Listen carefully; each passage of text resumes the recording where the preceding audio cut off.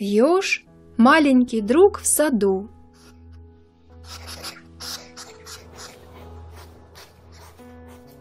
Что это за странные шорохи? Подумала я, когда осенью готовилась к празднику зимы в нашем саду. Я обернулась, но не обнаружила ничего особенного. Передо мной лежала большая куча из сухих, подвядших листьев и травы. Уже давно следовало бы убрать ее. Сегодня как раз можно это сделать. Энергично подтянув ее граблями, я вдруг заметила, что из-под кучки листвы послышалось сопение и фырканье. То, что я услышала, представляло собой протест ежа, удобно устроившегося здесь. Ничего не подозревая, я чуть было не разрушила его жилище, а этого он, само собой разумеется, просто так не допустит. Я быстро сгребла все листья и решила оставить непредставительную кучу до весны. Потревожить ежа в его зимней квартире? Нет, этого я не хотела.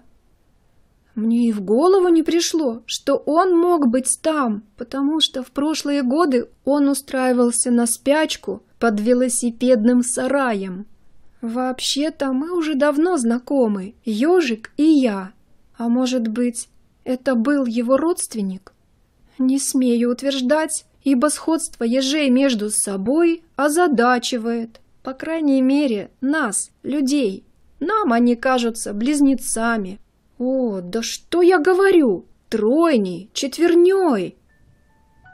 Наш еж, как и все другие, длиной примерно от 25 до 30 сантиметров и весит от 500 до 1000 граммов.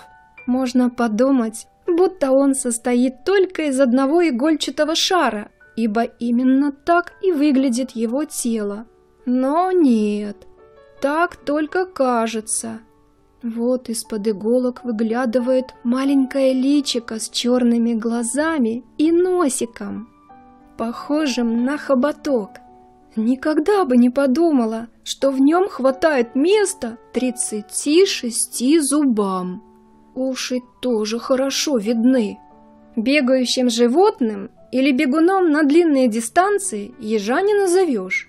Достаточно взглянуть на его ноги. Они очень короткие и сравнительно толстые.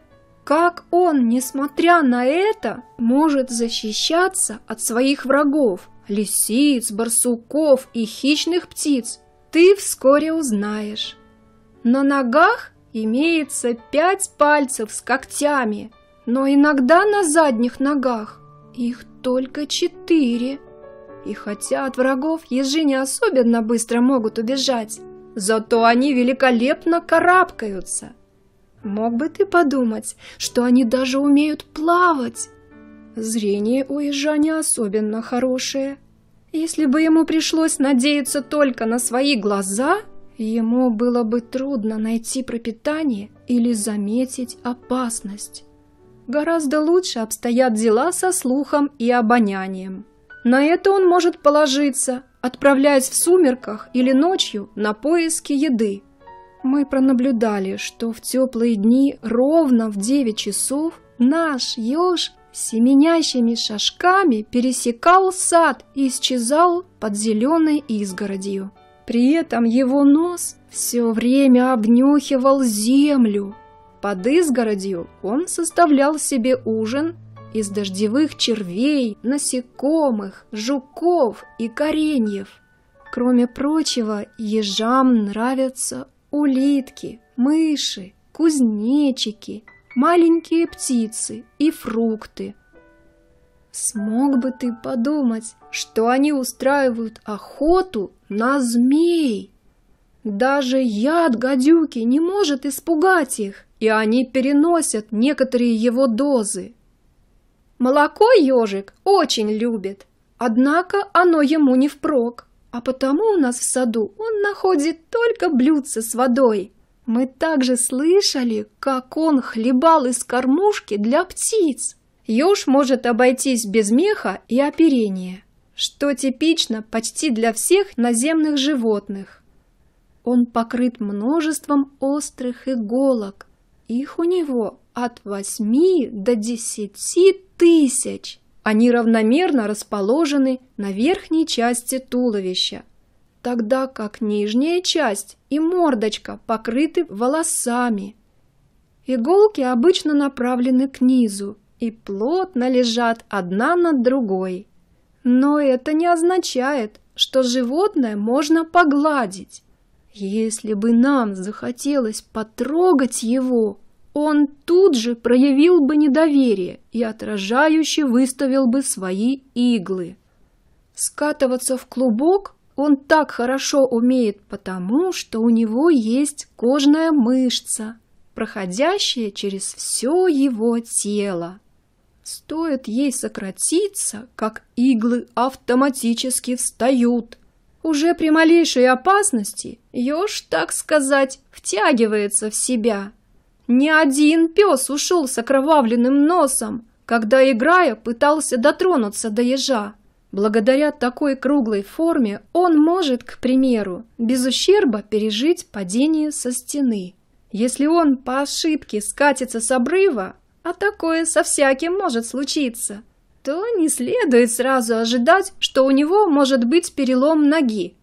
В этом случае он будет несколько сконфуженно выглядывать из-под своих иголок. Но с ним ничего не случилось. Гораздо опаснее ему на улицах. К сожалению, иглы не защищают от колес автомобиля, а потому переход через улицу не для одного ежа стал роковым. Иголку ежа нам следует рассмотреть поближе. Для этого не следует ее выдирать, потому что иглы у него то и дело выпадают сами. Однако еж никогда не линяет. Игла ежа имеет длину от 2 до 3 сантиметров и толщину от 1 до 2 миллиметров. На коже она заканчивается круглой игловой порой, в то время как свободный конец предельно остр. На спине таких колючек почти десять тысяч штук. Не слишком ли тяжело, если... М да, если бы у него не было Творца, который знал, как решить эту проблему. Он устроил так, что иглы, вплоть до тонкой разделяющей стенки, полые изнутри. Полое пространство заполнено воздухом. Таким образом, Иглы одновременно и легки, и прочны. Ежи чаще всего живут одни. Однако иногда самец и самка сооружают в густом кустарнике по гнезду. Чтобы в них было мягкое и тепло, они выстилают их листьями, соломой и травой.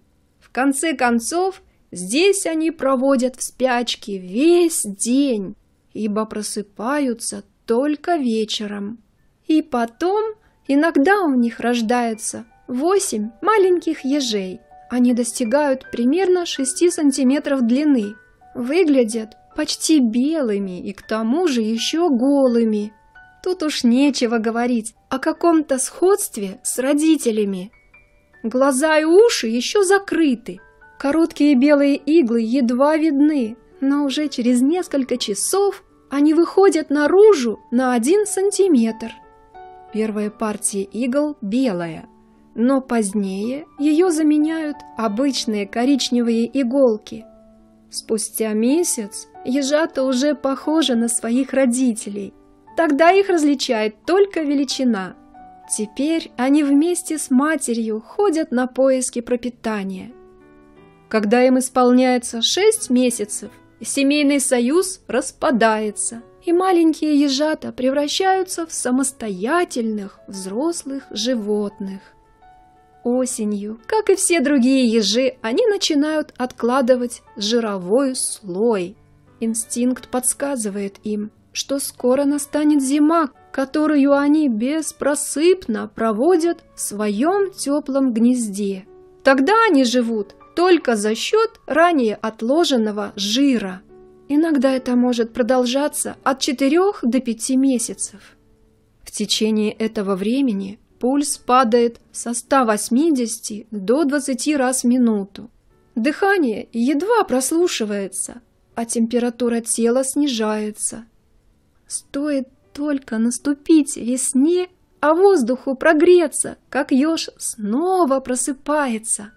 Для него начинается еще один год. Иногда самки ежей осенью еще раз рождают малышей. Однако в этом случае им часто остается мало времени для того, чтобы отложить необходимый для зимовки запас жира. Без помощи человека они бы зимой не выжили. Они еще слишком маленькие для того, чтобы выдержать долгую зимнюю спячку без принятия пищи. Возможно, ты уже слышал, что поздней осенью разрешается взять домой такого ежика, если он слаб и весит менее 450 граммов. Но только в таком случае. Любишь ли ты животных? Можешь ли снабжать их пищей? Тогда ты бы мог Конечно, при условии, что твои родители дали на это согласие смастерить ему в подвале гнездо из соломы и древесной шерсти. Но не испугайся! От такого ежа не всегда приятно пахнет, а иногда у него могут быть блохи.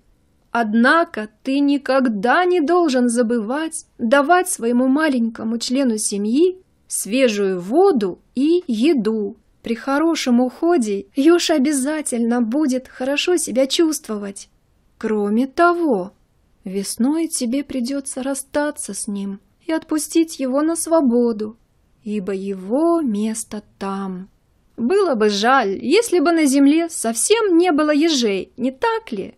Как хорошо, что они относятся к животному миру, сотворенному Богом. Представь себе, мы чуть было ничего не узнали бы о нем.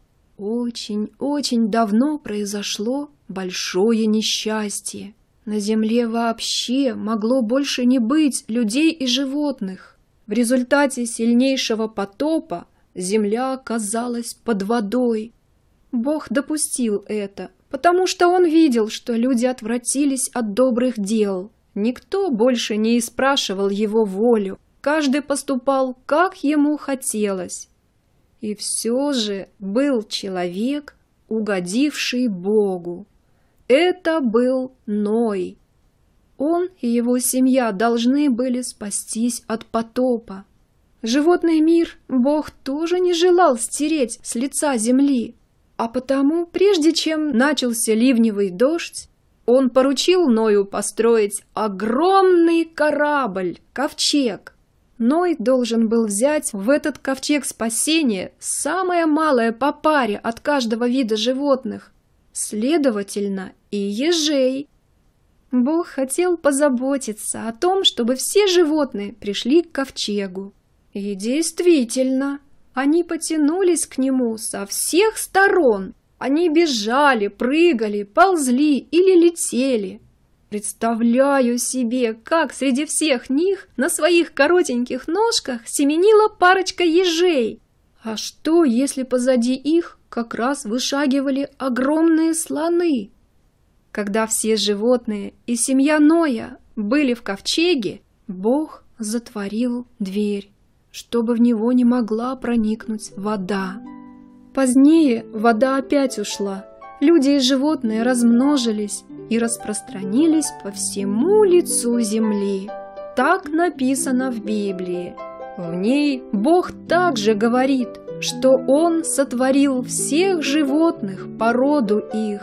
Они не возникли постепенно в ходе миллионов лет, как это утверждает эволюционное учение. Нет, небо и все звезды, а также землю и все, что на ней произрастает и движется, растения, животных и людей Бог сотворил за шесть дней. Поверь этому, ибо на Божие Слово можно положиться.